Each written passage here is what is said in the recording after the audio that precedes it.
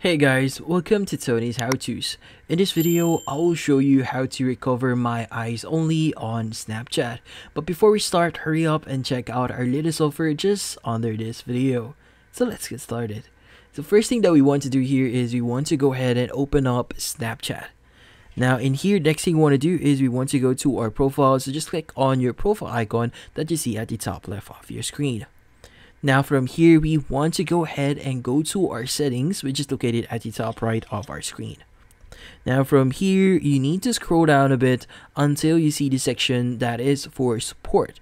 So in this case, for us to recover my eyes only in Snapchat, we want to go ahead and click on the option that says I need help. Now from here, you'll be given a few options on how you want to solve your problems here, but we are looking for the contact us button there. So just click on it. Now from here, you just need to wait for it to load up and from here you want to choose the option that says I want to report. I sorry, you want to go ahead and click on I need help with a Snapchat feature. So once you click on that one, it's going to give you this information here. So you want to choose the option that is for memories. Now, once you click on that, the option here will appear. So just click on the yes option there. And from here, you want to use the option that says using my eyes only. And again, you need to choose the option that is for yes.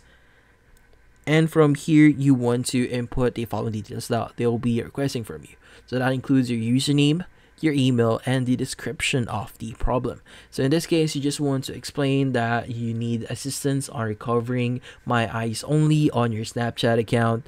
And from there you just need to click on submit and you just need to wait for snapchat support to reach out to you.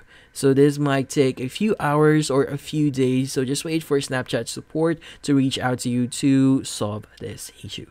And that's about it so thank you for watching. If you have any questions, feel free to ask in the comment section. If you enjoyed this video and found it helpful, you could use the link in the description to subscribe.